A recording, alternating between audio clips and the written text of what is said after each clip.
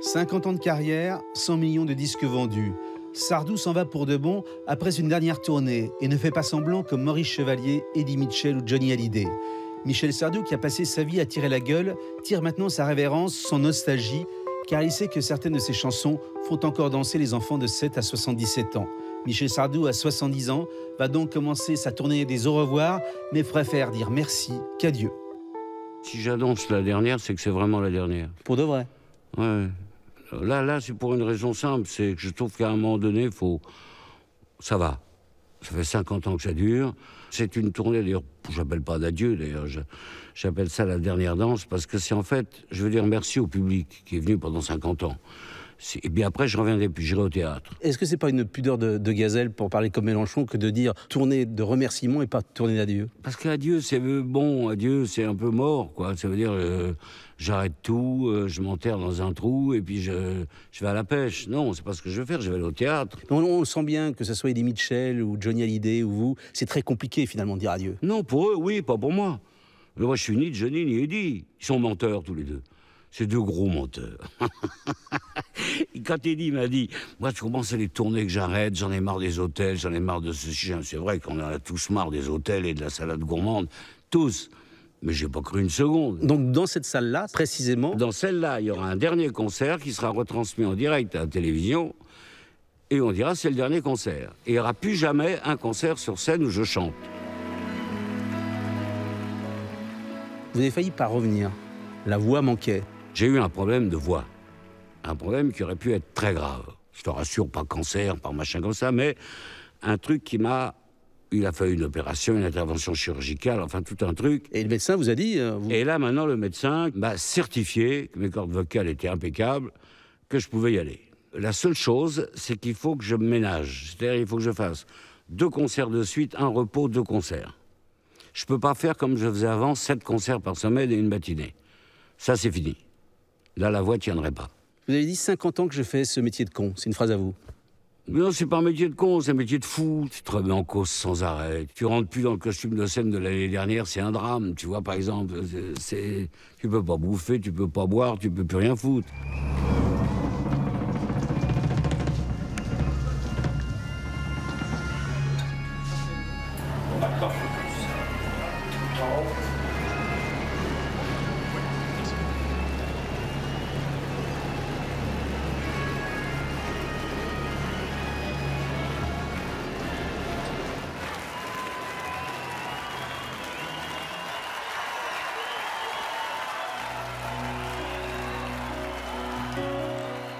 On retrouve une lettre abîmée par le temps. Et 50 ans plus tard, lorsque vous voyez cette salle vide, vous avez encore la frayeur de vous dire est-ce que ça sera plein? Ah oui, ça c'est la grande frayeur.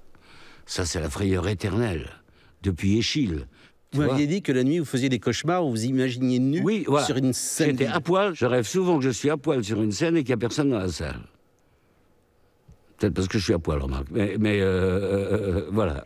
Et à ces gens-là qui vous suivent depuis 50 ans, qu'est-ce que vous allez leur dire pendant cette dernière tournée? Ben, Je vais leur montrer ce que j'ai jamais fait jusqu'à présent. J'ai toujours eu de très beaux éclairages. Mais là, on va faire en sorte de leur donner les chansons qu'ils aiment, qu'ils ont aimées, des nouvelles, et puis je te dis mettre le paquet de façon à leur dire voilà, c'est pas une tournée pour gagner du fric, c'est pas une tournée pour me faire une promo de quelque chose, c'est une tournée pour vous dire salut les mecs et merci. Donc il y aura quelques nouvelles chansons Oui. Est-ce qu'il y a encore quelques nouvelles polémiques ou c'est fini le temps des polémiques? Non, je, je, crois pas. Il y en a une sur le pape. Qui dit quoi? Ah ça, ça vous regarde pas, vous l'écouterez. Hein. Le dernier pape? Ah oui, celui-là. François. oui, François. Vous êtes plutôt pour? Et que ça peut vous foutre, vous hein? Je ne vais pas vous dévoiler ma nouvelle chanson. Vous viendrez ici, vous paierez votre place et vous écouterez. Vous dites que dans la chanson française, en ce moment, on ne produit plus que du son et qu'il n'y a plus que les rappeurs qui ont des couilles. Ça veut dire quoi? Non, je trouve que les textes de rappeurs sont pas mal. Euh, la rythmique des rappeurs m'épate.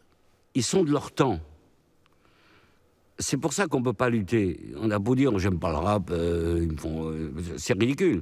Ils sont de leur temps, ils s'adressent à leur génération, comme moi je faisais quand j'avais leur âge. Et moi j'ai été un des premiers à faire des chansons de texte françaises, un peu engagées, on va dire. Bon, euh, Vous avez fait un paquet de polémiques, c'est vrai. J'ai fait de la polémique. Il y avait des choses assez rudes.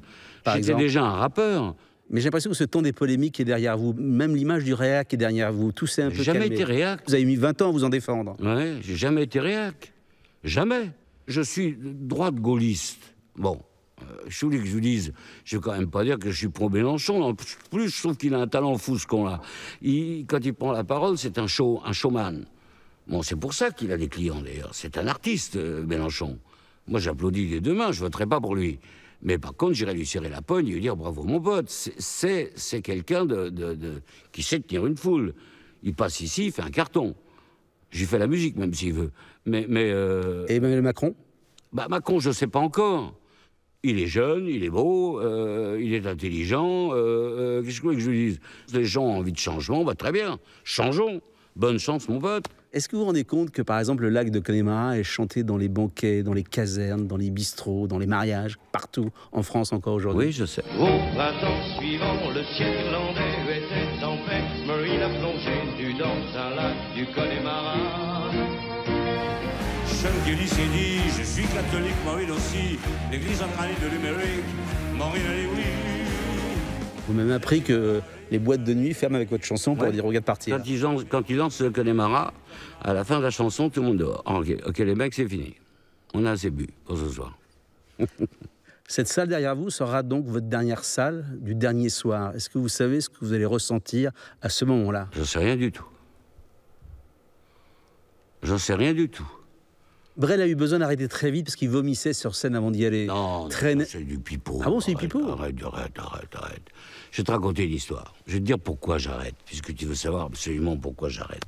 Quand j'avais 20 ans, ou à peine 20 ans, Eddie Barclay m'a fait un cadeau d'anniversaire. Et ce cadeau d'anniversaire, c'était Jacques Brel. Il m'a offert une journée avec Jacques Brel chez, chez Eddie, chez lui, il m'a prêté son appartement. J'étais jeune, j'étais devant. J'étais un peu comme un randonneur de montagne qui se trouve face à l'Everest, tu vois. J'étais un peu con-con, faut bien le dire. Et il m'a dit un truc que j'ai jamais, jamais oublié. Il m'a dit, il arrivera un jour, tu verras, où tu vas commencer à écrire, à réécrire les chansons que tu écris en ce moment. Ce jour-là, tu arrêtes. Et c'est ce qui se passe. Voilà pourquoi j'arrête à la fin de cette tournée. Parce que quand je prends mon crayon et quand je me mets à écrire, ou je me mets au piano et quand je, je cherche une mélodie, je retombe dans des mélodies que je faisais il y a 40 ans.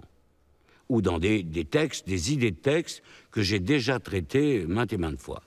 Donc là, comme je m'en suis rendu compte, Donc c'est la phrase de Brel qui vous et fait d'un dire... seul coup, je me suis dit, si je me mets à faire ça, je me suis rappelé de ce que m'avait dit Brel, je suis foutu.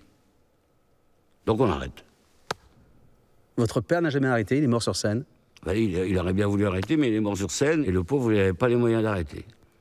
Il vous a laissé qu'un chapeau comme Il m'a héritage. laissé un chapeau comme héritage qui m'a évité les emmerdements que vous avez. Voilà. Vous laisserez un peu plus à vos enfants. Non, je serai mon chapeau aussi. Vous allez tout boire et tout manger. Oui.